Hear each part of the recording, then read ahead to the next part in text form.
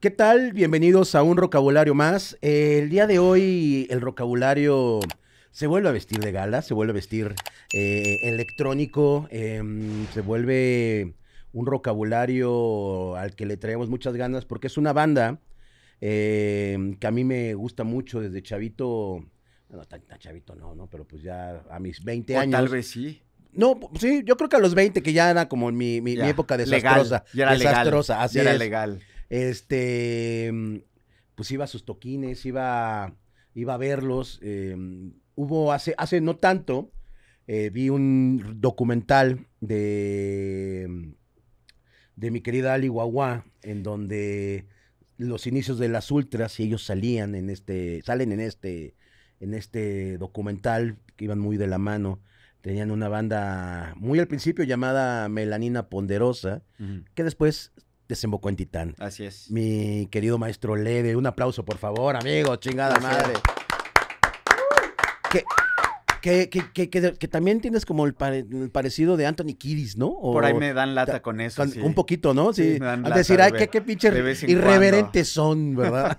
¿Cómo, es- ¿Cómo estás, amigo? Bien, cabrón. Bienvenido al vocabulario. Qué chingón que hayas venido, Sí, cabrón. no, a toda madre. Hablar de musiquita y de, anécdotas, cosas. porque desde varias. 1992. Sí, desde que éramos chavillos ahí. ¿Cuántos años tenías en el 92, mi Julián? En el 92, déjame saco cuentas, tenía 21.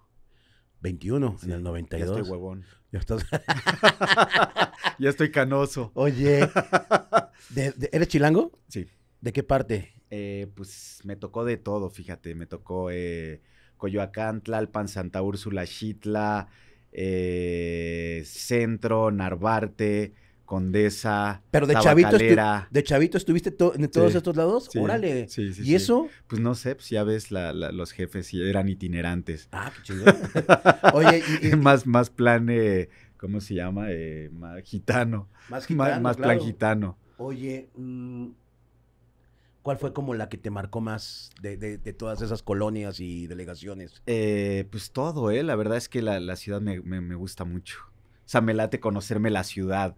Eh, cada vez me voy moviendo más hacia el norte. ¿Hacia Por alguna, dónde? por alguna extraña razón. ¿A qué parte? Eh, Más- más- digo, no he llegado tan lejos, no, no he vivido más allá del centro, Ah, hasta, hasta ahí. O sea, tampoco tanto. Sí, No he llegado a satélite todavía. sí, sí, sí. Sí, o- oye, pero llegaré. no, espérate. Espérate. Oye, Espérate, no seas tan no. este, Sí, Coyoacán, sin ofender. Coyoacán, eh, ¿qué tal? ¿Chingón? Sí, de me tocó de chavillo ahí, pues se juntaban los marihuanos ahí. me tocó ahí ir a escuela activa por ahí. ¿En, en la, en la activa? La o- activa, sí. Ah, mira. Sí, la- la- hermanos revueltas. Ah, la hermanos revueltas. Sí, Órale, qué chingón, cabrón. Sí, Oye, y ahí andabas de vago. Ahí andaba de vago totalmente en la, en la adolescencia. Oye, ¿tus jefes tocaban algo? Pues sí, sí, sí, eh, flauta y piano. Ah, bueno, pues, Sí, sí, sí. es una introducción. Y mi jefe cantaba, sí, en, en, en coro, coro profesional, así de música clásica. Órale, qué sí, chingón. sí, sí, les gustaba ahí. Sí. En, en tu infancia, ¿qué, qué Mi escuchabas? jefa quería que fuera músico, pero, pero cuando vi, vio lo que, lo que hago, sí, ya no le gustó tanto. Oye, eh, y bueno, ¿y, y- y qué, qué- qué escuchaban de, de, o sea, uno tiene el recuerdo siempre, y siempre les hago como esta pregunta, uno tiene el recuerdo de, de despertar en las mañanas un sábado, 8 o 9 de la mañana, y la jefa pues, anda trapeando o haciendo el quehacer o alguna actividad en la casa con su música a todo volumen, ¿no? ¿Y qué, qué- qué- qué música era? Pues más que nada, fíjate que empecé a, a coleccionar discos desde muy chavillo, me gustaba la música. Pues mis jefes estaban más en onda música clásica y, y es, e- esa movida, pero desde chavillo, pues ya compra- pues, me compraba mis discos, me, me compraba mis discos de, pues, de los Rolling Stones, de los Beatles, ya pues, mu- muy chiquillo, ¿no? Me tocó toda esa onda, luego me, me tocó Kiss muy fuerte, me tocó Iron Maiden, pero morrito, muy morrito a los seis años. ¿Quién te introdujo? Seis, siete a- años. Pues solito. Así sea, como que iba a la tienda de discos acá. a, a ver qué onda. Qué Así es. Y pues la otra persona que, que también me, me educó musicalmente fue la muchacha. Ok, ok. Porque pues tenía su estéreo allá arriba con todos sus discos de baladas y pues yo me subía ahí, ahí como a, a darme a, a- a toda esa selección musical también, ¿no? Entonces, por un lado, pues tuve mis jefes que, que me le entraban a la música clásica. Eh, a mí me gustaba el rock desde muy chiquito y me iba acá a las tiendas de discos a, a, pues progre, oía mucho progre de muy chiquito, me gustaba Pink Floyd, Yes, pero morrito, morrito también. Y, y la muchacha que me enseñó la- las bellezas de la música popular mexicana y las baladas del corazón. Qué chingón. Oye, ¿Y, y, y cuál, cuál, cuál habrá sido tu primer toquín, te acuerdas? El primer toquín que fui a ver, Ajá. eh, a ver, ¿cuál? hab- Mira, creo que fue en un lugar que se llamaba El Ágora, que estaba sobre insurgentes, que era una, ¿qué era? Era una, era una librería y en el sótano hacían como toquines. Ok. Y me tocó, era Luzbel, Botellita y el Tri. Ah, no, pues buen cartel. Buen cartel, sí. Pues un lugarcito para 100 personas, así, pues, pequeñito. O sea, el Tri, Luzbel y, Y Botellita. Botellita, cabrón. Qué chingón. ¿Y, y, tú como músico tienes influencia de, de estas tres bandas o...? Mm, no creo, no creo directamente, pero pues de morrito me encantaban. Pues era lo que podía ver en vivo, entonces pues también como que le entré a esa onda, ¿no? Titán tiene, Ti- Titán tiene una, una rola, digo, ah, vamos, o sea, estamos ahorita con el principio, pero hay una rola, digo, hablando de este tema, que es como medio trisolera, que es la de... que es, que es un saxofón eh, Ah, sí, araña, araña, araña. Sí, es que en ese disco como que andábamos ahí como sumergiéndonos un poco, retomando un poco como, no tanto del tri, pero sí del tri souls, como esa época ahí como más de hoyo funky y eh, pues rock and roll más barrial, ¿no? Eh, mezclado con, con- con, pues toda esta influencia cósmica que, que tenemos con, con Titán, nos pareció como bastante peculiar juntar ahí como pues la calle con el espacio. Ese sax, ¿quién se lo aventó? Ese se lo aventó el papayito del Tri, Ah, el el que, que- que tocaba en el Tri Souls El ahí. pues, papayo. en- del papayo, exactamente. Sí, pues tiene todo, todo, la- el Eh, estilo. Es el mismo, sí, por Así es. supuesto. El papayo, El para, papayo. para los que más o menos tengan una idea de esta, este solo de ella existió solo en un sueño del tri, este, que se llama, ay, no me acuerdo cómo se llama la rola, pero bueno, triste canción. Este saxofón emblemático, pues es el papayo, es Sí. gran, gran personaje del, del- del rock mexicano. Y bueno, y además el Tri Souls, pues eh, antes de ser el Tri, tienen un disco que es así, pues, fundamental y que es muy cabrón, que es eh, el Tri Souls en directo desde el Reclusorio Oriente, que es así un disco así, pues que te caes de nalgas. El en vivo. El en vivo en el Reclusorio Oriente. ¿No es el de Santa Marta? No. Mm, no. Pues también existe, pero, en- Ah, eh, pero Reclusorio Oriente, pues se ve que traen el chile adentro y pues están tocando ahí con, con Toño. con, con Toño. Qué sí. chingón, güey. Toda la ponzoña, es verdad. Exactamente. ¿En qué momento el maestro Lede tiene como una aproximación con la lira? O, o con algún instrumento, más bien igual no fue la lira. No, sí fue con la lira, fíjate, cuando tenía, eh, pues yo era deportista así de tiempo completo cuando era morrillo, hasta que, hasta que entré a la secundaria y me desvié. y, eh, y pues empecé a tocar música, empecé a tocar, agarré la lira y le empecé a dar. ¿Qué, qué- qué deporte practicabas de morro? Eh, practicaba fútbol americano, Ah, tenis y, eh, y box. Ah, o sea, pambolero no, nada. No, nada. Oh, Que chingas mal Sí, pambol, ¿no? sí, que chinga su madre. Andaba metido más ahí con deporte de contacto. Chingón, Me gustaban los chingadazos. ¿Te ¿Y, hasta la fecha o ya, No, ya, más tranquis. Sí, ya, ya. Ya, pues ya. ya duelen, va? Ya duelen, sí. Hay, hay que trabajar los fines de semana también, entonces eh, me la llevo más leve. Oye, entonces agarras la lira, Sí. pero, pero, o sea, Mira, ag- agarro la lira y pues la verdad agarré pues la lira acústica, me puse a estudiar eh, pues guitarra clásica y ya luego pues me encontré como un maestro ahí como pues más, más rockerillo y pues estuve mezclando eso. Luego, eh, por fortuna, conocí a, a quien, pues Emilio y a. Gabriel de Melamina Ponderosa. y a Tiosha, eh, que, que, que entró después a la banda, pero lo que era peculiar con ellos es que pues, tenían una caja de ritmos y, y sintes, que pues tener una caja de ritmos era bastante extraño en esa época, claro. pero pues luego, luego nos enganchamos con esa onda y pues a darle y a programar desde morrillos. Emilio andaba muy metido en la programación, Gabriel también con, con los sintes y eh, pues nos latió, digamos, como ese formato que pues no era muy, muy común en, en esa época. Además que hacíamos música instrumental con Melamina Ponderosa, igual que con Titán. O sea, Melamina Ponderosa es un prototitán. eh, un poquito más violento y más ruidoso, pero a fin de cuentas, pues música electroelectrónica con sampleos y con eh, instrumental en, en su mayoría. Este, este, este momento de O sea, digo, Melamina- co- con Melamina creo que tocamos, debemos de haber tocado máximo cuatro veces. O sea, tocamos una vez, creo que en el- una vez en el Luco, dos, otra vez en Rocotitlán, una vez en el Teatro de la Ciudad para tres personas y eh, alguno más por ahí que hicimos, creo que en el Chopo. Era un poco difícil entrar como en una escena porque justamente estaba saliendo eh, pues todo este movimiento del rock en tu idioma, que en esa época lo odiábamos. Entonces, eh, pues como que no teníamos ahí como... Cabida. No, no, no había mucha cabida ahí como para, para la movida en la cual estábamos. Melamina es como esta, estas bandas, como bien dices, cuatro toquines y, y, y- y sigue siendo una banda como muy recordada, ¿no? Muy, muy, muy como la banda siempre te dice, ah, sí, claro, los de Melamina. Ajá. Es como de. Lo dicen aunque no la hayan escuchado. Ajá, claro, claro. Sí. Es, es de estas bandas que se volvió como de culto, Mm. ¿no? Sin haber visto como mucho espacio en su momento, ¿no? Sí, sí, sí. Qué cabrón. Eh, eh, ¿Esto en qué año fue? Ah, 80 y, ¿qué será? 88 por ahí. Yo creo que aproximadamente como 88. Y había un personaje pues bastante peculiar que era el Doctor Fanatic. No Ah. sé si Claro. eh, eh, él ya se despidió de, de esta dimensión, pero por alguna extraña razón él nos fue a ver un ensayo eh, eh, y eh, pues él estaba tocando en esa época con la Sociedad de las Sirvientas Puercas, que eran una parte como de, creo que de caifanes, no sé, pues era ahí como una bandilla como más, más marrana que traían. Sí, Y sí, eh, pues nos vio un- en, en un ensayo en mi casa un martes y nos dijo, pues el viernes tocan, vamos a tocar y pues ustedes abren. Y pues nos cagamos así de ahí, güey, espérate tantito. Y pues sí, ahí anda- así arrancó la cosa. Y esto fue en el look. Eso fue, sí, fue en el look. Órale, Mm. qué chingón. ¿Cómo- Exactamente. Y ese momento de subirte a un escenario, ¿qué? Eh, pues pánico escénico, pero pues tocamos, tocamos y pues estuvo, tuvo bueno. ¿Todavía existe bueno el ese asunto. paniquito? o- Eh, no, así tan violento no, ta- tan duro no, pero pues sí hay nervio, sí, sí, todavía existe el nervio. O sea, por lo general nunca lo puedes domar, ¿no? No, no, no, eso no se doma, eso pues eh, eso se vive, eso se, se sobrelleva. ¿Cuánto dura Melamina?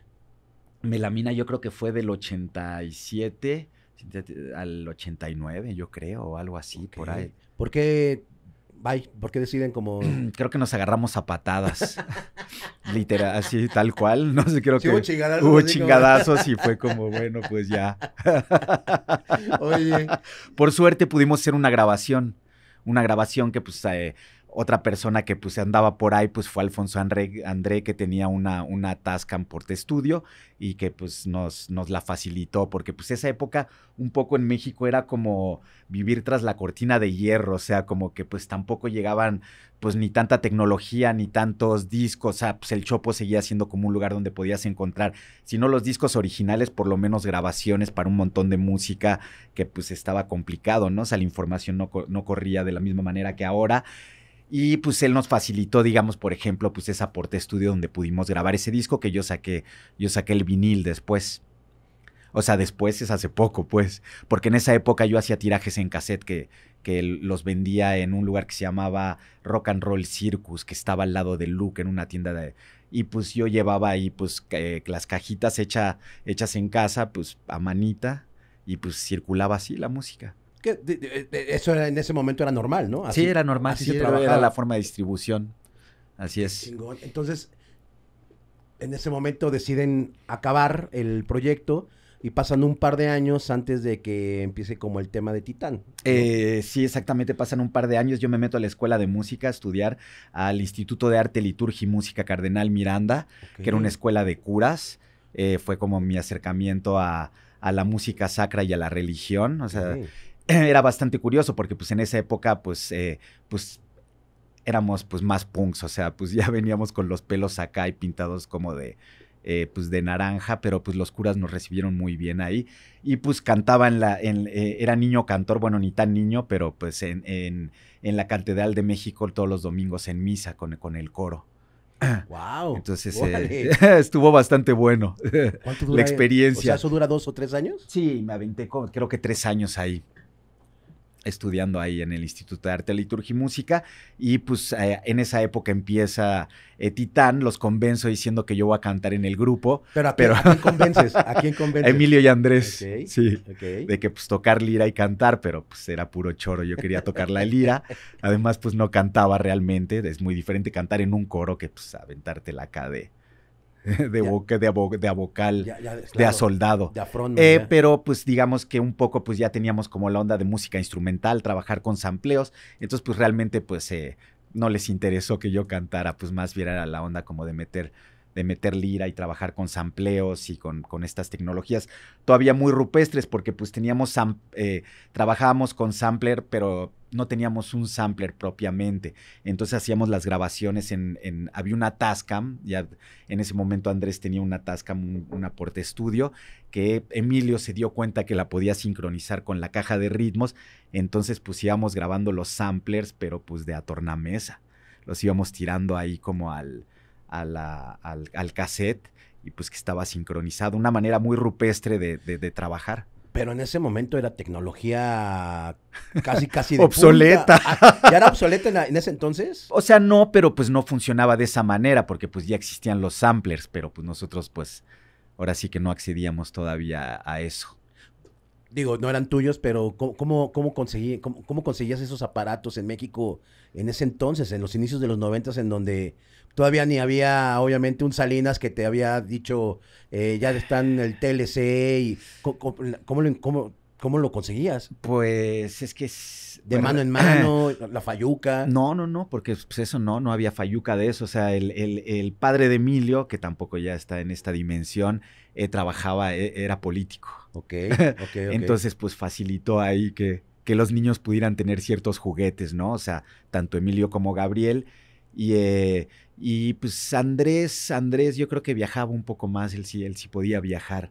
Entonces, pues ahí pues tenía la porte estudio esta. Y pues así, tal cual, así, así fue la onda. ¿Y cuál fue la primera rola de Titán? La primera rola de Titán yo creo que fue Alto Impacto. Alto Una Impacto. que sale en el, en el primer disco que hicimos ahí con BMG.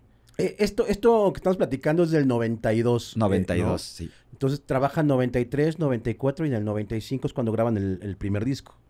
Por ahí, sí, tengo muy mala memoria para las, para las, Las fechas, fechas. pero debe ser más o menos así. Y, y cuando en estos tres años ya había un poco más de espacios para poder eh, proyectar esta música para otra banda Mm, o... Sí, pero más bien como que nos armamos nuestro circuito un poco. O sea, nos tocaba tocar, o sea, tocábamos mucho como en, pues un poco como en medio galerías, en fiestas, como que armaba la gente como en sus, en casas.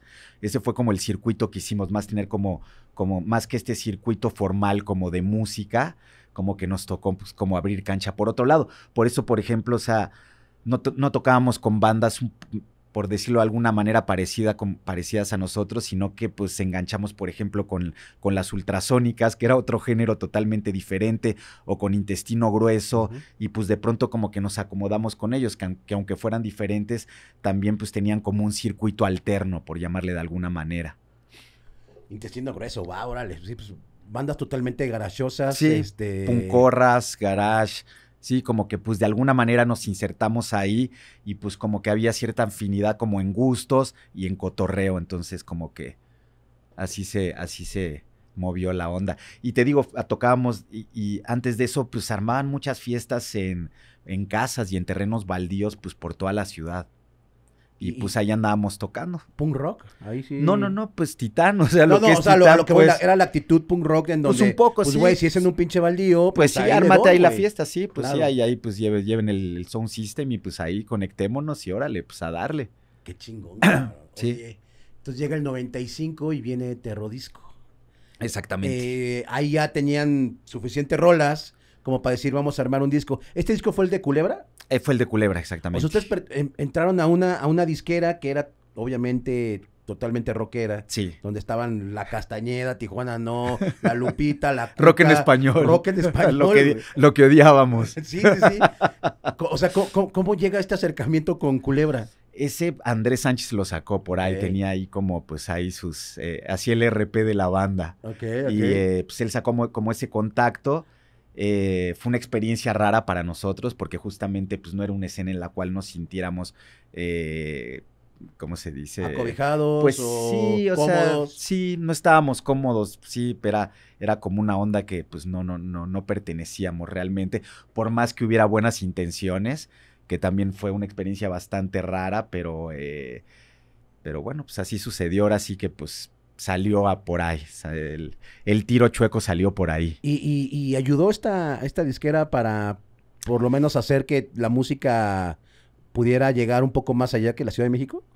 Supongo que sí, o sea, porque pues sí tenían ahí como pues obviamente como pues su brazo ahí como pues eh, de distribución. Yo creo que para Titán hubiera sido mucho mejor haber salido independientemente, como que todavía no se concebía mucho Claro. como la idea de, de la disquera independiente, ¿no? Eh, creo que hubiera sido como el formato que después, digamos, llegó con Nuevos Ricos, en el cual sí nos sentimos completamente cómodos eh, y, que, y, y totalmente involucrados en el proyecto, ¿no? Tú como, vamos a saltarnos un poquito Pero- esta parte. Pero si quieres regresamos o vamos o como quieras. Estamos sea. un poco de- yendo para allá, pero no, más bien lo que te quería preguntar, ¿es fácil tener una disquera? O sea, digo, vamos un poquito más para acá, porque pues fuiste el chingón de Nuevos Ricos, ¿no? O sea, Nuevos Ricos era una disquera en donde podías encontrar ya sea Titán o banda un poco no tan común como lo que se estaba escuchando en la radio o en los o en Telehit o en MTV, tenías a Jesse Bulbo, tenías es, es fácil poder concebir una, una disquera independiente, porque también hacer una disquera independiente ahorita me imagino que es más fácil que cuando tú la hiciste, güey, ¿no? Eh, por suerte, pues digamos que fue como un nicho que, que mucho no existía, entonces como que pudimos, o sea, eso nos dio impulso. Fácil, pues no fue, terminamos exhaustos realmente. Todo depende cómo lo quieras manejar, o sea, ahora sí que depende qué tantos huevos le metas a la canasta, ¿no? Con Nuevos Ricos, pues le metimos todo, ¿no? O sea, así fue como fueron cinco o seis años ahí, pues de Aferrado. pegarle durísimo por todos lados. Eh, pues pusimos a viajar a todos para pues Europa, Estados Unidos, Sudamérica, o sea, como que sí éramos extremadamente activos, hacíamos, era, sí había como mucha actividad por parte, digamos, de la disquera, además de que las bandas estaban tocando, pues estábamos metidos como en espacios de arte, en museos, estábamos viajando, hacíamos shows en, pues en el centro de la ciudad, de en parques públicos, o sea, había como una cosa de comunicación por parte, porque lo que tenía Nuevos Ricos es que además de ser una disquera, era un proyecto en sí mismo. O sea, no era nada más como una disquera así de, ah, ok, pues te, pues te saco tu disco y te hago tu promoción, sino que había, pues, eh, había como, em, mm, pues, ¿qué, qué había? Ah, Sí, había como otra manera como de relacionarnos con la música, ¿no? Y como, y pues te, ha- había como una cosa como bastante irónica de entrarle como a, de hacer también como nuestra propia escena, era como muy importante eh, hacer nuestra escena, o sea, era como parte, digamos, del proyecto, no tanto insertarnos ahí como en algo, sino que creo que en ese momento yo sí me sentí muy cómodo con todas las bandas que estaban relacionados con el sello. Eh, y pues sí, pues nos sentíamos como, pues ahí como que, que era una escena en sí misma. Y eso creo que fue como, pues, bastante sabroso para nosotros. Qué chingón, cabrón. O sea, Y no- pues obviamente, bueno, es un proyecto que hice con Carlos Amorales, que es un artista plástico, que pues crecimos juntos oyendo música.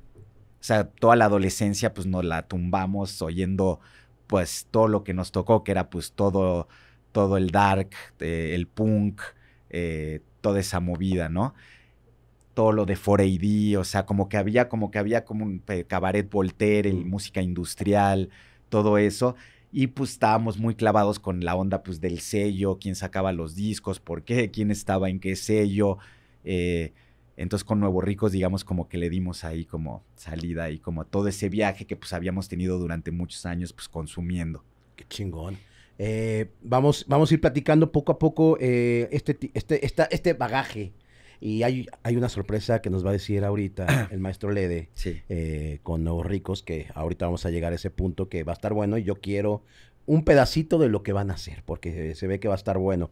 Eh, entonces, en, dos- en, dos- en, dos- en 95 hacen esto con Culebra. Eh, ustedes fueron muy de la mano con este tema psicodélico, como muy... eh, el- el- sí, to- totalmente psicodélico, con electrónico, con... Era, era, era, era una, era un abanico de, de- de- de cosas que podías escuchar con, pues con, con este terrodisco. Sí, Em, suena muy de la chingada, pero pues la verdad sí era ecléctico. Sí, sí, sí, sí. Pues sí. Sí, sí, sí. O sea, con Titán siempre hemos tenido como eh, eh, esa virtud o esa desgracia. Hay muchos intereses metidos ahí, entonces como que nos gusta como pues ir como explorando ahí como diferentes tipos de música. Eh, y sí, pues hay de todo, o sea, como que entran como de un montón de, de ideas allá adentro. Eh, Es eso, se escuchan como muchas ideas. ¿Qué, qué tan difícil es amalgamarlas para poder llegar a un producto de un disco? Se ponen, o sea, tú dices, tengo dos rolas, el otro dice tengo cuatro, o más bien son de los que, bueno, igual este se, se juntaban los, los tres o cuatro que estaban en su momento ahí y salían, o cada quien ya traía su... No, la tirada es trabajar grupalmente, o sea, si Sí. hay como una cosa de, de- de- de trabajo de grupo y de juntarnos y empezar a darle y encontrar, digamos, hacia dónde queremos, hacia dónde se va moviendo la música, el interés ahí que se va armando entre los tres. No hay uno que diga, ah, pues yo creo que pues la tirada es esta, sino que más bien a ver qué dinámica se va, se va armando entre los tres y de ahí pues vamos encontrando y pues agarrando brecha. Y, esa, y esa misma dinámica sigue existiendo hasta ahorita. Sí, sí, sí, siempre ah, ha qué sido chingón. así. Ah, qué chingón. Sí. Pasan cinco años y viene un pinche discazo, que eh, fue el que, pues ya puso a Titán como en este mapa en donde mucha gente no lo conocíamos tal cual, que es Elevator. ¿no? Sí, sí, sí. O sea, realmente la parte de BMG fue un poco traumática para la banda, como que justamente no nos sentíamos que hubiera ningún tipo pues, de contacto ahí como con la disquera.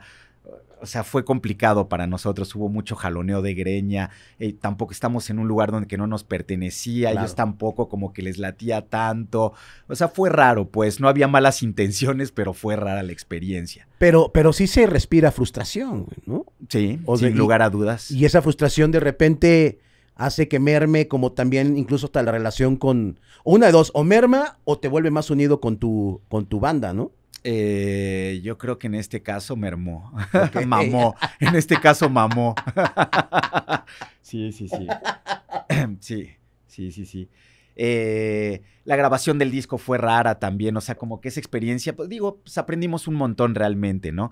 Pero a mí me da la impresión de que no lo pudimos ver tampoco nosotros, pero si hubiéramos tenido como un lugar donde grabar en casita y poderlo hacer nosotros, creo que nos hubiéramos sentido mucho más cómodos con el resultado de lo que sucedió. Pero bueno, pues así es la historia, ¿no? Y pues también eh, tiene sus pros y sus contras. ¿En dónde graban Elevator? Elevator, no, es- ese lo grabamos, una parte lo grabamos aquí en la Ciudad de México con. Paco, con Paco Guidobro, un pedacito. Otro, o- otra parte la grabamos en Los Ángeles, en Camarillo, California, con Sukia, con una banda que existía en esa época. eh, y otra parte con Michael Franti en San Francisco. Digamos, en ese momento, pues con la disquera fue diferente el, el- trato. Sí había, había más entendimiento de, de cómo, de cómo tratarnos y cómo trabajarnos, aunque tampoco estábamos del todo satisfechos, pero pues creo que ya era como más cercana, digamos, la relación que podíamos tener pero también pues eh, sello grande es un grano en el culo. Sí.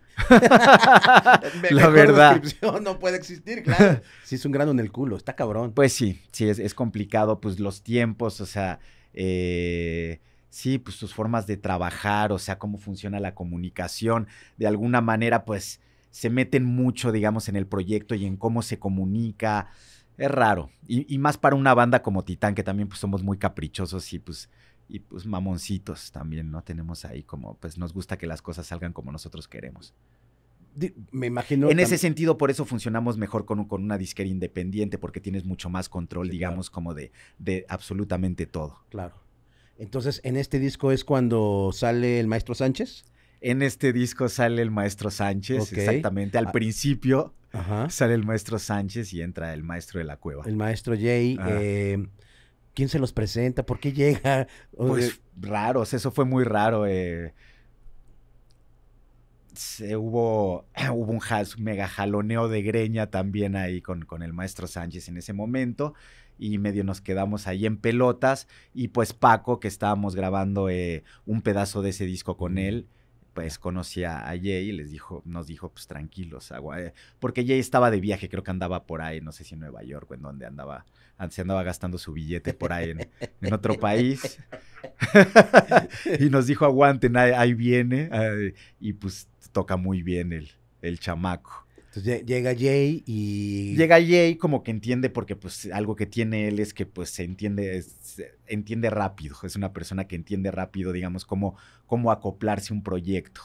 Entonces hubo como buena química y pues ahí arrancó, o sea, pues grabó lo que no grabó Andrés, eh, porque pues eh, hay un momento en el cual, bueno, no, no quiero entrar en detalles porque, porque no estoy aquí para tirarle mierda a nadie. Bien, Ah. bien. Entonces entra, entra, entra Jay y Ah. este... Y, empieza a arrancar Elevator. Ajá, exactamente. Empieza a arrancar Elevator. Grabamos las partes co- co- con Paco, lo que le correspondía a, Andrés, digamos. También se avienta unos teclados, como que nos damos cuenta que entiende muy bien, digamos, cómo, cómo nos movemos como grupo. Y de ahí, pues nos vamos a grabar con Sukia a Los Ángeles. Eh, pues ellos trabajaron con un montón de bandas. Estaban en ese momento con los Dus Brothers, que eran como unos productores ahí de, pues, de muy de finales de los noventas. Eh, también con, con Beck y toda esa banda. ¿no? Era, era como, como ese cotorreo. Y con ellos la pasamos muy bien en, en, en, en, su estudio. Tenían un estudio en una casa rodante. Ah, eh, y pues tenían unas máquinas verdaderamente maravillosas. Ahí grabamos una buena parte de, eh, de Elevator, que es mi parte favorita de ese disco, o sea, como la chamba que hicimos con ellos. Y de ahí nos vamos a San Francisco a trabajar con Michael Franti, que fue otro, otro, otro jaloneo de greña ahí Ok. mu- muy denso también. Pero bueno, pues ahí terminamos el disco. Pero este jaloneo de greñas con él, con él fue porque no había entendidos o... Sí, nos llevamos muy mal. Con él nos llevamos muy mal y hay un momento en que nos tocó, o sea, él nos odió y nosotros lo odiamos a él, pero pues ya estábamos ahí. Pero hubo un momento que sí le hablamos a la disquera y le dijimos, no, pues está, está muy tenso aquí el ambiente, eh, pues qué onda, ¿no? Y pues nos dijeron, pues, pues Es- arréglense, es lo que hay. pinches chamacos. y así fue. Eh, con Elevator ya empiezan a girar por Europa, por... dar- fue, fue- fue todavía ahí como que empieza otro momento de transición porque pues sale primero aquí en México Elevator con Emi y pues se pone rara la cosa porque nos empiezan a hacer como unas giras promocionales pues en la República me acuerdo específicamente una que era en el Bajío que era en, en programas de cocina para señoras. Entonces, entre que estábamos cagados de risa, pero también un poco frustrados porque, pues, ¿qué, o sea, ¿qué hacemos aquí? O sea, ¿cómo hacemos promocionando este, este disco de música electrónica en Con programas señoras. para cocinas? O sea, realmente O o sea, por mejor que la estuviéramos pasando y nos estuviéramos cagando de risa, nos dimos cuenta que pues estábamos perdiendo el tiempo y pues eso, esa parte era muy frustrante. Y obviamente pues estaban las preguntas de cajón de pues quién es el baterista. No, pues no hay baterista. Pues ¿cómo que no hay baterista? No, bueno, pues es que la máquina. Ah, bueno, ok. ¿Y quién es el cantante? No, pues es que no hay cantante. No, pues como que no hay cantante, pues a qué se dedican pues, programa de sí, o sea, como que pues estábamos en un lugar que no nos correspondía. Entonces de ahí, em, por suerte, en ese momento eh, hubo una convención muy grande de, de EMI y Virgin en, en Barra de Navidad. ok, ok, Se juntaba toda la compañía mundial, o sea, se juntaba toda la compañía ahí. Y pues eso prácticamente era como una orgía romana Puro gángster. o sea, rentaron todo un hotel así de lujo, pues para la compañía y pues ahí pues, el fiestón que se armó fue bravo. Y fue pues todo, todo, pues fueron los altos mandos y nosotros tocamos, tocamos, éramos una, una de las bandas que tocaba eh, pues para la compañía. Y pues fue un gran show, o sea, la compañía internacional, digamos, ya Virgin, eh, pues le interesó mucho la banda cuando la vio en vivo. Y de ahí hicieron, pues ahora sí que el manager, Stanis Figueroa, eh, que había visto, digamos, todo lo que nos estaba sucediendo con la promoción que estábamos haciendo acá, pues ahora sí que agarró y se brincó a los directivos de acá, se los pasó por los huevos y les habló a los de allá, que ya los había conocido, y les, dije, les dijo, miren, aquí la onda pues está de esta manera, ¿qué onda? Y pues llega Virgin UK y dicen, no, pues véngase para acá. Wow. O sea, pues esta movida, pues tenemos que reventarla afuera. Eh, hay que hacer las cosas de otra manera. Salimos de EMI, entramos a Virgin UK en un lugar que se llamaba Special Projects, que pues era como pues eh, ahora sí que la parte fifi de, de Virgin. Había cinco artistas, estaba pues entre ellos pues Bowie, mm, Wow. otras cosas como Lenny Kravitz, una banda de metal. Eh, pues era, era así como que un departamento súper especializado de música. Y pues ahí empezamos a girar por, por Europa. Eh, eh, pues sí, estaba Moby, ¿no? Pues que le abrimos un rato ahí en, en, la, en sus giras en, en, Europa también. ¿Y qué tan divertido es ese? Aburridísimo. fue la última gira que hicimos en, en, Europa y creo que fue de, de las más desilusionantes que, que tuvimos. Oye, entonces los agarra, los agarra Virgin, mm. eh, Inglaterra. Ellos están en el lanzamiento mundial. O sea, el lanzamiento mundial lo hace Virgin. Pero eso ya, es internacionalización. sí, totalmente. Ya a, partir de ahí, pues ya más bien su casa número uno era Europa. Totalmente, pues nosotros prácticamente pues nos la pasamos viviendo ahí en el Hilton, en, en Londres. ¿Cuánto tiempo duraron de gira? ¿Dos años? ¿Tres años? Sí, deben de haber sido como tres años, tres, cuatro años, Sin no me acuerdo. Pues sí, de pronto veníamos aquí eh, dos semanas y nos volvíamos a ir eh, otros tres meses o cuatro meses y regresábamos, estábamos aquí un poquito y pues vámonos de vuelta y a seguirle pegando. Recorrimos todos los festivales de Europa, todos, todos, absolutamente, nos peinamos toda Europa, pueblos, ciudades, granjas, festivales, tocábamos todos los días pues el sueño de todos los músicos, güey, ¿no? pues sí. Estábamos también, sí, tocando en Gabacho, sí, sí, sí. Sí, pues sí, sí, sí. Y, este, llamémosle éxito eh, de una banda. Entre comillas. No, no, no, no, lo digo porque, lo, digo porque, eh, pues al final que es una banda mexicana que probablemente, como todo, en México, pues la mayoría no es profeta. Ya. ¿No? Afuera sí. Entonces hablo ese, eh, hablo de, por eso de, éxito, no entre comillados, sino porque en México probablemente no estaba todavía Titán eh, dentro del, dentro del, pues sí, del, Sí, sí, dentro del espectro, la escena o tal cual. Sí, sí, sí, nos sirvió muchísimo realmente como poder salir y pues estar girando y tocando un montón. Es algo que no nos hubiera pasado acá. Estas, estas tablas que tuvieron durante estos tres años en gira, me imagino que tienes, obviamente, el yin y el yang, ¿no? Es como, güey, tengo todas las tablas del mundo, pero también debe haber también igual un desgaste, ¿no? Un, está cabrón estar tres años girando, güey, ¿no? O sea, no, no, no, no, no, no estar en la raíz o no estar en tu casa, extrañando igual a la mamá, al abuelo, lo quien sea. Ni al mamá, no, pues a la, a la morra. A la morra, claro, claro. No, y a los cuates, porque realmente en esa época estábamos viviendo en la panadería que era como este espacio que había en la Condesa, como de, pues, espacio alternativo de arte o como te guste llamarlo. Y pues realmente pues todos nuestros compas estaban ahí, amigos y amigas, y éramos como pues ahora sí que una pandilla que pues andábamos de fiesta por, pues, por toda la ciudad, pues pasándola a toda madre. Y pues de alguna manera pues, pues nos separamos de eso y pero pues nuestro cotorreo estaba ahí, pero pues bueno, estábamos tocando allá. Y también lo que pasa es que pues internamente, o sea, como compas, o sea, como, pues es desgastante estar con tres cabrones, o sea, así de pronto, ay cabrón.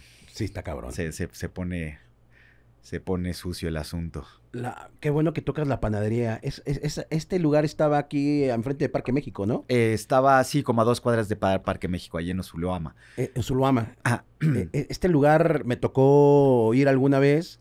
Estaba bien chingón, cabrón. ¿Realmente la idea de quién fue? Pues yo creo que ahí, la verdad, pues yo, o sea, yo viví ahí muchos años, yo, yo no fui de los organizadores, ni mucho menos, pero dos personas que están, eh, pues como muy involucrados en el proyecto y que creo que pues, lo desarrollaron y lo inventaron, pues era Joshua Ocon y, Miguel Calderón. Y pues lo curioso ahí es que realmente, pues circulaba mucha información y venía, o sea, había exposiciones todas las semanas eh, y pues circulaba, venía mucha gente de, de, fuera también a, exponer, por llamarle de alguna manera, porque pues igual eh, era bastante relajado y laxo lo que podías ver ahí, ¿no? Desde cosas como muy armadas hasta pues hasta una rata comiéndose a otra. Sí. Entonces era bastante peculiar, ¿no? Y creo que sobre, sobre todo en ese momento en México sí había como un hueco en el cual no, estaba pasando mucho en, ese sentido. Y pues también había música, pues las ultrasónicas tocaban ahí, pues estaba Intestino Grueso, estaba Mickey Guadamur también. Eh, Mickey, claro, claro, claro, órale. O sea, pues había ahí como una bandita ahí que también como que pues sentimos, ah, ok, pues esto que está sucediendo, pues está interesante. Y era un circuito también que pues que se fue armando de otra manera que no pertenecía tanto como a los antros eh, oficiales, pues de nuevo, por llamarle de alguna manera, ¿no?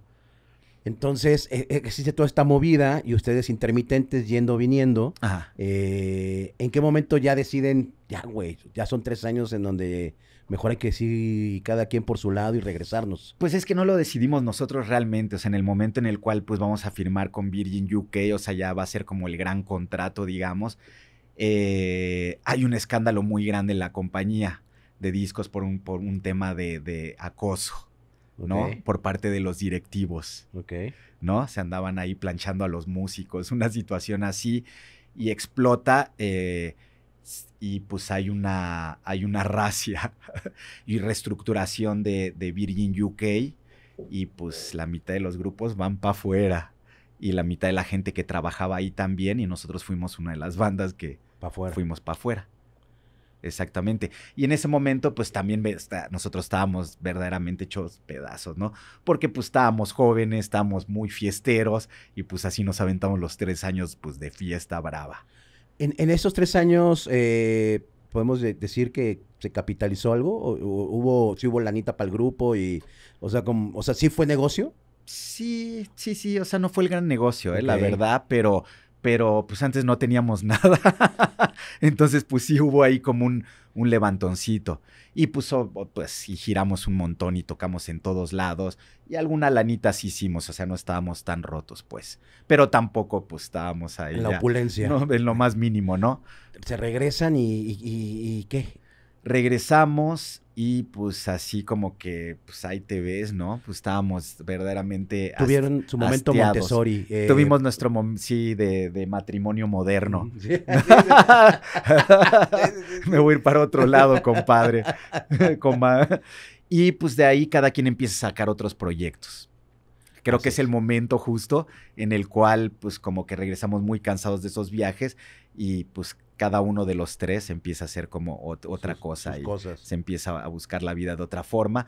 Paramos unos años, no me acuerdo cuántos, pero bueno, debe ser, si fue pues, mm, unos tres, yo creo. Tres años más o menos, en lo que pues además de hacer otros proyectos cada quien, eh, yo empiezo con lo de Nuevos Ricos. Ahí, Ahí es donde, Ahí se ahí empie- es donde arranca. ahí arranca. Em, luego llega el 2005, Ujú, viene el siguiente disco. Así es. O, o sea, dicen, no, pues hay que regresar. Hay, Sí. que, hay quien, quien, quien es como el que siempre levanta la mano como de, oigan, pues ya, ¿no? Nos pasamos de, de, de- de flojillos o, o ya hablo con el proyecto, no, no en sus vidas, ¿no? Este, ¿por qué no nos vemos y vemos qué, qué pasa? ¿Quién es el que siempre levanta la mano para, Pues, para en, eso? gen- en general, Emilio y yo, o sea, en general como que arrancamos. Ok, ok. Este caso fue diferente en el caso de- del último disco, nos integramos los tres, pero en general como que Emilio y yo le dábamos camino y pues ya luego pues se sumaban. Llega, pa- bueno, pasa. Pero digamos que ya, te, o sea, para mí un poco pues ya teniendo la disquera Nuevos Ricos ya también había un porqué claro. de, de, de ok, pues Para vamos a empezar a aventarnos otro, eh, pues, se está armando como todo este, este, esta movida, este conglomerado, digamos, y pues hay un porqué, ¿no? De pues vamos a rascarle de nuevo. Nuevos Ricos eh, empieza a firmar, por ejemplo, a María Daniela. Sí. eh, que es uno de los proyectos justamente pues, de Emilio, Emilio. que pues eh, empezó a arrancar, digamos, cuando, cuando paramos. Tú cuando escuchas el prim- la primera vez a- a el proyecto de, de- de- Emilio y Dani, ¿qué, qué, qué dijiste? Ah, órale, está cotorro o Sí, totalmente. te prendió. Sí, sí, sí, me prendió, sí, sí, Qué sí. chingón. O sea, todo lo que salió en Nuevos Ricos me prendió mucho. claro. Y además, pues obviamente yo sentía que podía ser como una muy buena carta, digamos, como para... Porque pues había como cosas como más torcidas y macabras dentro Ajá. de Nuevos Ricos, ¿no? Como puede ser Mickey Guadamur, o sea, como cosas pues más rotas, ¿no? Pero pues María Daniela pues también nos servía mucho, digamos, digámoslo de alguna manera, como pues como para infiltrarnos, ¿no? Porque ahora sí como que era como algo como para toda la familia que lo vieran y luego pues ya le entraran a toda la porquería. Dijeron, ay, mira qué bonito y curioso está esto, ¿no? Y luego, ay, güey, hay otras cochinadas más cerdas. En, este, ah, creo, que todavía no estamos grabando, le comentaba al maestro. Pero obviamente, pues, me, o sea, sí me gustó, o sea, pues lo y No, dije, pues, wow, está chingón, ¿no? De ahí salen los primeros, no, de hecho, María Daniela no entra en- dentro de los primeros lanzamientos, porque sacamos los cinco viniles al principio, que también era, era un box set, era una caja con cinco viniles que venía Mickey, Ajá. Láser Moderna, que era Ajá, otro proyecto de así es. Emilio que tenía, estaba Tom Revolver, una banda de Holanda, estaba Silverio y Mickey Guadamur. Esos fueron los primeros Esos los cinco. acetatos que salieron. Oye, digo, ahorita retomando, y va, a haber- va a haber una sorpresa muy parecida a lo que me cuentas que- de lo que pasó en ese entonces. Exactamente. Viene igual un box set Viene un box set. de varias, eh, varios eh, integrantes del Nuevo Ricos. Pues de todos, o sea, realmente es una compilación. Igual como empezamos, estamos acabando. Digo, la disquera ya acabó hace rato, pero para mí no se le había dado como un cierre en forma. Fue algo como que se diluyó, por lo menos aquí en México, porque el cierre lo hacemos en, Alemania, en Basel, en un museo. Presentamos como todo el proyecto junto con Carlos. Y ese fue como para nosotros, digamos, como el cierre. Pero donde más trabajamos fue aquí en México y pues fue donde tuvo más impacto. Y aquí sencillamente para mí la sensación es que pues ya se, se, se, se, ¿qué iba a decir? Se, no sé, Pues papá. no sé qué iba a decir. Digamos que pues sencillamente se, dese- se desarmó y, no, y pues de alguna manera como este box set que, que, que viene ahora, para mí es una manera ya como pues de cerrar formalmente pues esos años que ya fue hace un rato. Es una, una compilación con todas las bandas, trae pues como un librillo ahí, o sea, un poco de lo que fue como esa escena de Nuevos Ricos. ¿no? ¿Tenemos fecha más o menos para cuando salga esto? Sale el 20 de abril, o sea. Eh, sale el box set, sale el 20 de abril, que es el, es el Record Store Day. O sea, es, este evento mundial que se hace eh, pues dedicado al vinil y el lanzamiento eh, de México. Esto es ligado con la Roma Records. Que ellos eh, pues, están editando viniles. Es un proyecto que ellos me, me dijeron, oye, pues ¿por qué no armamos el box set de Nuevos Ricos? Y pues ya, no, en dos segundos te organizo eso. Entonces el punto de venta va a ser en la, en la Roma Records. Exactamente. Ok. Eh, sí, ese día pues eh, va a haber, eh, pues vamos a hacer un, un eventillo que, para... que va a estar, pues va a estar Mickey, Ajá. va a estar Ye- eh, Jesse, va a estar, ¿quién más va a estar? Mickey, Jesse, María Daniela, Silverio y Titán. Uf, no, pues firmando, duro. firmando ahí cajas. Va a estar duro. Va a estar feo. Va, va a estar... no, no, no, eh, sí, va a estar duro, a ver. Va a estar feo. A- a- a- alguien, va, alguien va a dobletear ahí, alguien va a, va a dobletear. Va a estar No, no, no, no va a haber doblete. No, oye. no va a haber doblete. Nada más rapidísimo, ¿por qué, por qué decidiste terminar eh, Nuevos Ricos? Pues la verdad estábamos muy cansados, estábamos porque realmente como, com- como, compañía eh, éramos muy buenos, digamos, para hacer, digamos, como, identi- como identidad, o sea, creo que éramos, ra- o sea, como, Nuevos Ricos como identidad, como fue mo- como muy potente y como proyecto. Para las relaciones públicas éramos pésimos, o sea, de hecho hacíamos lo contrario, justamente nos agarramos de la greña muy duro con mucha gente. Y pues también eh, en ese momento hay una cuestión que en la industria, ¿qué es lo que sucede? Pues empieza a entrar menos feria Claro. por... Nosotros tuvimos una relación con la piratería bastante peculiar, que es nos, que nos interesaba que pues nuestra música saliera pirata y nos relacionamos mucho con los piratas.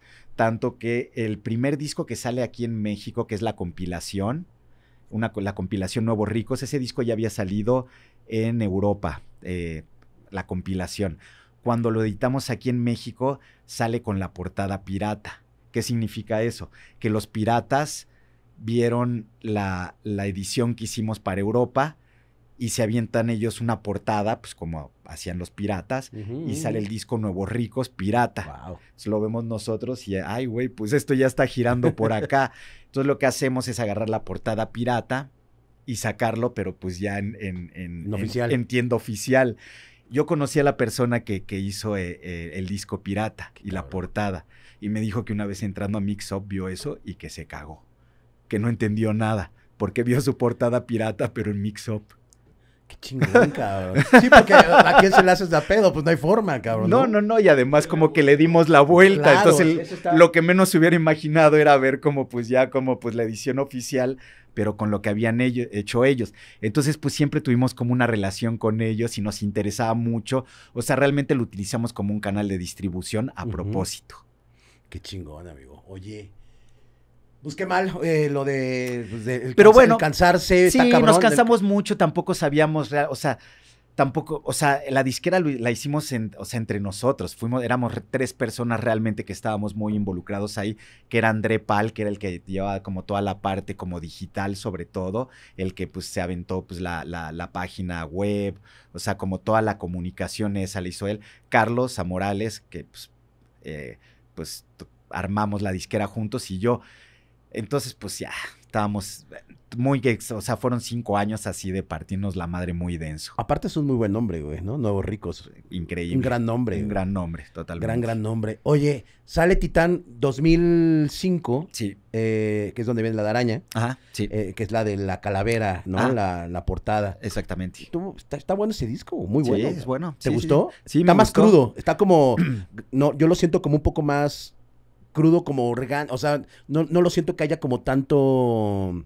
tanta parafernalia electrónica, sino es como más, lo siento yo, igual tú No, no, no, totalmente. loco". O sea, ese disco pues lo grabamos prácticamente en un cuarto de azotea. Qué chingón, cabrón. O sea, lo hicimos totalmente así de, pues hágalo usted mismo con lo que tenga, compa. Porque pues se había, se había acabado la bonanza de Virgin UK. Pero pues las cosas se hacen y pues ya, ya existían las computadoras. Y, y en esta etapa, eh, lo- ya no son, o sea, son tres obviamente como lo- la banda, pero invitaron también a, a músicos que me acuerdo haber visto de Bataco a, al que to- eh, bueno, el- la pareja de Jesse, A Alexis, él A- estaba Alexis. tocando en vivo Galaxis. tocando en vivo. ajá, Que él tocaba en, en Massinger Z y Intestino y Grueso Intestino antes. Grueso, así Estaba es, tocando con Jesse y lo invitamos a, ahí a a, a- tocar y, y también- Justamente había como esa, eh, esa tirada como pues de, de hacerlo un poco más eh, a Titán como, como, pues como estábamos mezclando como estos elementos como pues de, de rock callejero con, con esta cosa espacial, ¿no? Como de- justamente pues por ese lado clavamos a Galaxis. Gala- y también, eh, y también Ah. estaba esta chica Danet Estaba Danet que tenía un proyecto con Emilio. con Emilio. Por ahí pasó, pues pasó Danet, pasó Jesse también en algún momento, se, se subía con nosotros. Eh, Hubo una en donde vi a Jesse, digo, perdón, a, a la baterista de las ultrasónicas cantando una rola. eh, Ah, a está a Jenny. Jenny. Jenny Jenny también. Bombo. Ajá, Tiene, hay- exactamente. hay- hay- tiene una rola también con, con Ajá, Titán, ¿no? Exactamente. Qué sí. chingón, cabrón. Sí, sí, sí. Está, ese, ese disco está eh, muy Ese es más crudón. Ese, ese- sí es más crudo ese disco. Sí. Sí, es un gran, gran disco. Aparte la portada, el arte estaba bien chido. Y creo que es la primera vez que quedamos conformes co- con, Con algo. sí. O sea, como que nosotros tuvimos control todo el tiempo de todo lo que pasó. A la distancia es diferente. El Elevator me gusta mucho, por ejemplo, aunque en el momento me quedé ahí medio truncado. Es un disco que me gusta y tiene pues momentos brillantes. Digamos con el de la calavera, pues fue algo que sí dijimos listo.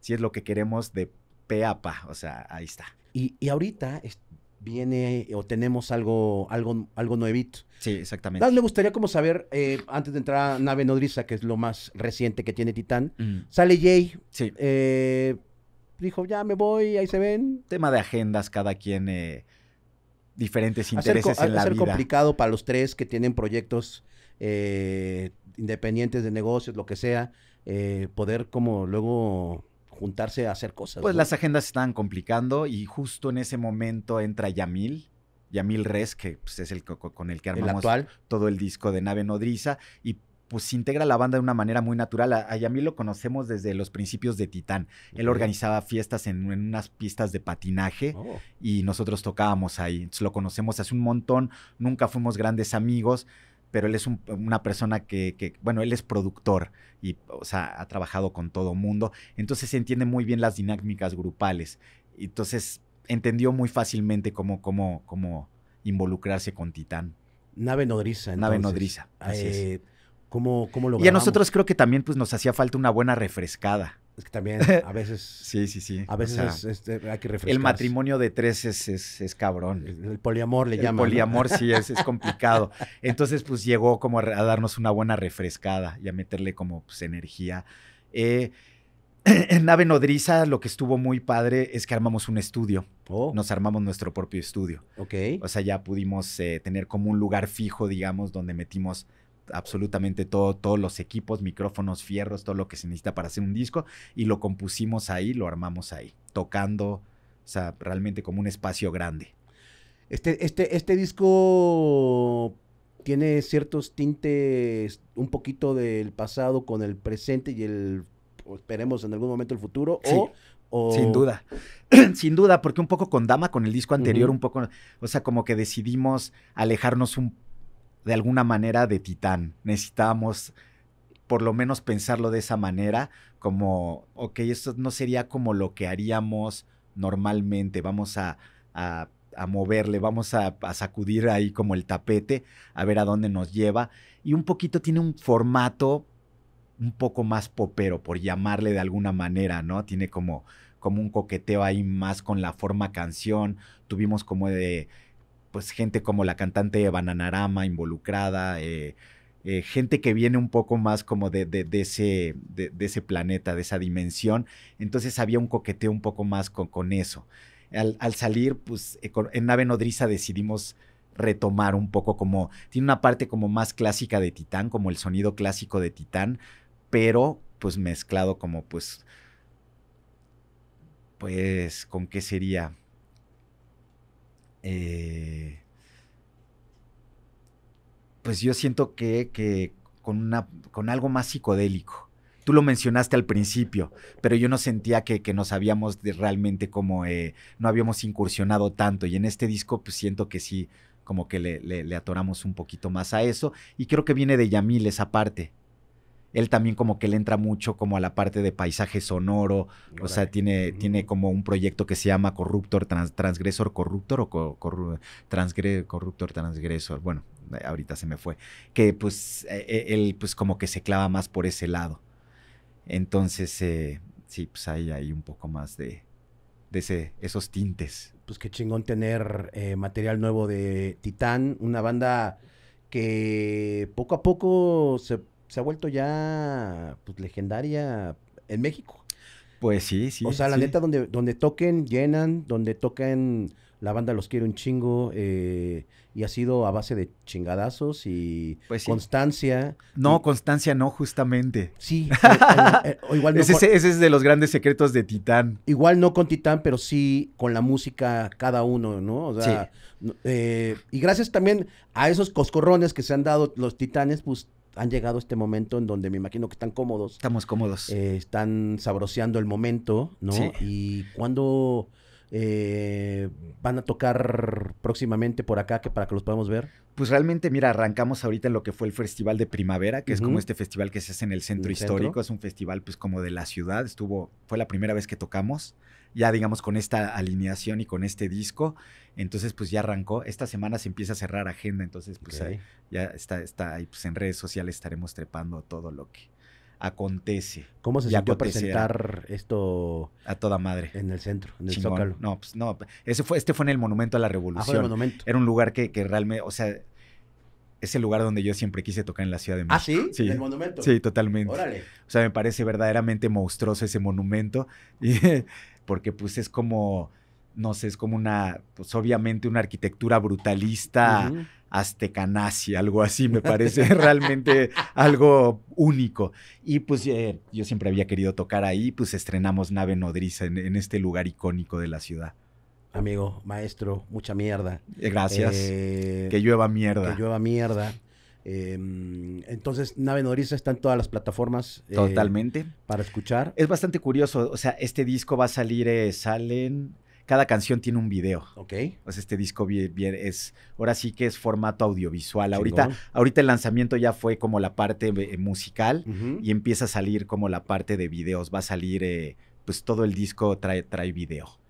Y, y- los videos tenemos más o menos quiénes son los que lo hicieron, ustedes mismos. Lo hicimos nosotros todo. Wow, cabrón, qué chingón, Sí, qué chingón, pues mucha mierda. Eh, nos vemos entonces para la presentación del box set también. exactamente. Eh, Va a ser en la Roma. en la Roma- en la, en la en la Roma Roma Records. En esa esquinita se va a armar el cagadero. Me parece perfecto, ahí, Sí. ahí nos vamos a ver. Sí. Titán, Titán MX, pues son todas las, eh, todas las ¿qué? redes. Titán, Titán Titán MX. Titán, Titán MX. Ah, Maestro Lede, muchas gracias. un por- placer. Por, venir y Un por, gustazo por por, por aguantarse. No, gracias este la invitación. No, me encanta. A toda madre, Qué chingón verte, amigo. igualmente. Nos vemos pronto. Claro que sí. Eh, Y pues bueno, eh, pues ya escucharon una, una historia de una banda que en lo personal me gusta mucho, eh, una banda que la ha chingado. Muchas gracias a todos los que nos siguen viendo, se siguen suscribiendo, nos siguen preguntando, eh, nos siguen, siguen interactuando en las redes sociales con nosotros. Muchas gracias a Som Studio, gracias a Kusev por eh, cerrar esta entrevista. Eh, muchas gracias a Gio, bienvenido otra vez, mi Gio, espero nunca te vuelvas a ir. Este, muchas gracias a mi Mario. eh, gracias a todos ustedes, gracias a Víctor que sigue manteniendo a flote este barco. Y pues nos vemos próximamente con otra historia chida de bandas y de músicos. Eh, nos vemos pronto. Ah, la revista. Seguimos con la revista de mujeres de marzo, pero pues bueno, estamos en abril ya, pero no importa. Pues en su portadita pues tienen a, a- varias chicas ahí del rock. Eh, pues bueno, muchísimas gracias a todos. De Venta en nos vemos pronto. Gracias, chao. Muchas gracias, amigo.